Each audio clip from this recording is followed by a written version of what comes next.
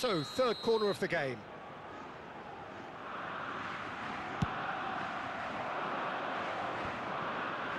He's going for goal!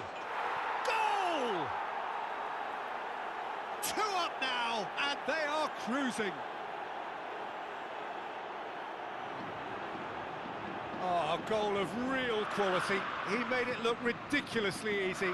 Well, most of those go high and wide because of their difficulty. He made it look like he does it every day. Marcó en el minuto And it didn't take him long.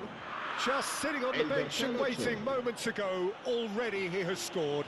I think the manager's claiming an assist here.